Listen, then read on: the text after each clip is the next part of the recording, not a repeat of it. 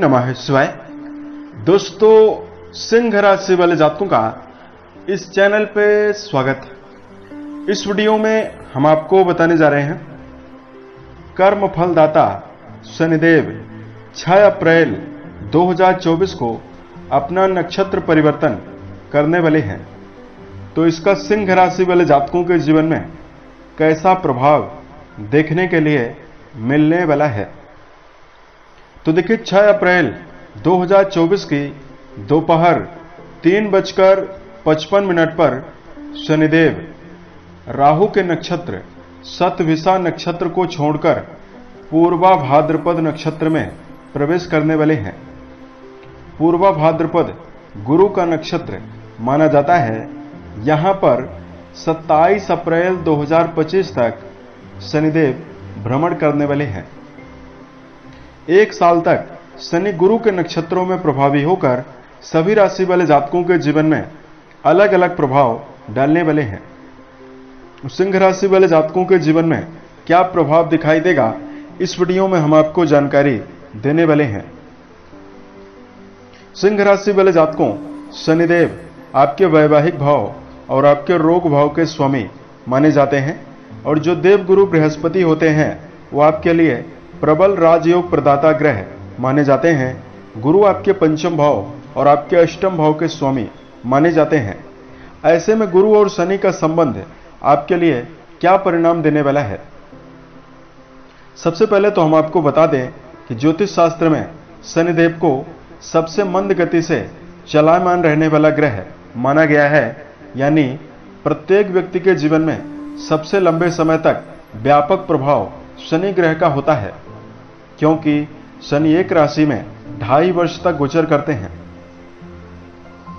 शनिदेव के बारे में भले ही नकारात्मक धारणा लोगों के मन में बनी हुई है, लेकिन ऐसी स्थिति बिल्कुल भी नहीं है। जन्म कुंडली पर प्रभावी शनि की अवस्था जीवन में उन्नति देती है। परिवारजनों का सहयोग भी दिलवाती है। वहीं जन्म कुंडली में शनि अगर मज़बूत अवस्था में विराजित हों तो जातक बहुमुखी प्रतिभा का धनी भी बनता है, यानी एक साथ कई विधाओं की जानकारी ऐसे व्यक्ति के पास होती है। शनि का बलि प्रभाव जातक को रंक से राजा भी बना सकता है, और कई भवन, कई भूमि और कई वाहन का मालिक ऐसा व्यक्ति शनि के शुभ होने पर बनता है। यही शनिदेव जब जन्म कुंडली पर नकारात्मक अवस्था में विराजित हो तो कई प्रकार के असाध्य रोग देते हैं, जैसे कैंसर, पैरालाइसिस जुखाम अस्थमा, टीवी की समस्या और शनि के कमज़ोर होने पर ही हड्डी जनित बीमारी मिलती है। शनि का पीड़ित प्रभाव, मानसिक अशांति, वहीं कर्म क्षेत्र के मामले में भी कई प्रकार की समस्याओं को देने लगता है। अब आइए हम आपको बताते हैं कि सिंह राशि वाले जातकों के जीवन में क्या प्रभाव मिल सकता है। यह जानकारी आपके लिए बहुत ही खास और महत्वपूर्ण है और आपके चंद्र राशि के ऊपर प्रभावी और आधारित है तो आप इसे इसी आधार पर देखें। सिंह राशि वाले जातकों, शनिदेव 6 अप्रैल 2024 को आपके कुंडली के सप्तम भाव पर मूल त्रिकोणस्थ होकर अपना नक्षत्र परिवर्तन करेंगे और पूर्वा भाद्रपद नक्षत्र में जाने वाले हैं। तो यहाँ पर आपके जीवन में, चूँकि सप्तम भाव से पार्टनरशिप के बारे में, जीवन साथी के बारे में डेली वेजेज की इनकम के बारे में, दैनिक व्यवसाय के बारे में विचार किया जाता है। शनिदेव की तीसरी दृष्टि आपके भाग्य भाव पर जा रही है। सप्तम दृष्टि आपके राशि के लगन भाव पर जा रही है और दसम दृष्टि आपके राशि के सुख भाव पर जा रही है। तो 6 अप्रैल 2024 से शनि का नक्षत्र परिवर्तन सिंह राशि वाले जातकों के जीवन में पारिवारिक सकारात्मकता देने वाला है। पारिवारिक जीवन में यदि आपको पिछले समय से अत्यधिक दबाव का या पारिवारिक जीवन में कई प्रकार की प्रतिकूलताओं का सामना करना पड़ रहा है, उससे आपको निजात मिल सकती है। शनिदेव आपके सप्तम भाव पर विराजित हैं और गुरु के नक्षत्रों में जाएँगे तो इस समयावधि में आपके लिए शिक्षा के मामले में समय बहुत ही भाग्यशाली रहने वाला है। एजुकेशन फ़ील्ड में जुड़े हुए सिंह राशि वाले जातकों के जीवन में एकाग्रता की बढ़ोतरी और आपके शिक्षा के क्षेत्र में आप अत्यधिक प्रदर्शन कर सकते हैं, मनोवांछित परिणाम भी प्राप्त कर सकते हैं। सिंह राशि वाले जातकों, इस समयावधि में यदि आप नई ज़मीन, नया भवन, नया वाहन खरीदना चाहते हैं, शनिदेव की दसम दृष्टि आपके राशि के चतुर्थ भाव पर जा रही है। पिछले समय से यदि आप अपने जीवन में भौतिक सुखों से जुड़ी हुई किसी भी चीज़ को खरीदना चाहते हैं, लेकिन यदि आप नहीं ले पा रहे हैं तो आपके जीवन में शनिदेव के नक्षत्र परिवर्तन से सफलता आपको मिलने वाली है। गुरु के नक्षत्रों में प्रभावी शनि आपके जीवन में रुका हुआ धन भी आपको दिलवा सकते हैं। इस समयावधि में सिंह राशि के ऐसे जातक, जो दर्शन शास्त्र, रिसर्च, अनुसंधान के क्षेत्रों में पढ़ाई कर रहे हैं, या इन क्षेत्रों में आपका जुड़ाव है तो यह समय आपके जीवन में शुभ रहने वाला है।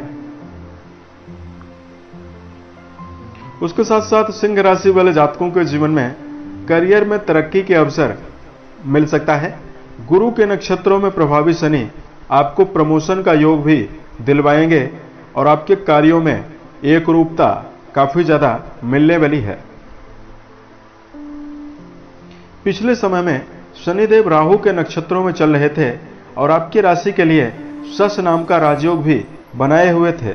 शनि की सप्तम दृष्टि आपके लगन भाव पर जा रही थी।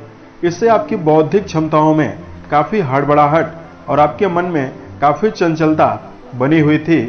व्यर्थ की बातें और व्यर्थ की नकारात्मक अवस्था को आप अपने ऊपर हावी कर रहे थे। गुरु के नक्षत्रों में प्रभावी शनि आपके मन में एकाग्रता और सात्विक विचारधारा देने वाले हैं। और कहीं ना कहीं यह समय आपके जीवन में पारिवारिक जीवन के लिए तो बेहतर है ही, वैवाहिक जीवन के लिए भी श्रेष्ठ रहने वाला है।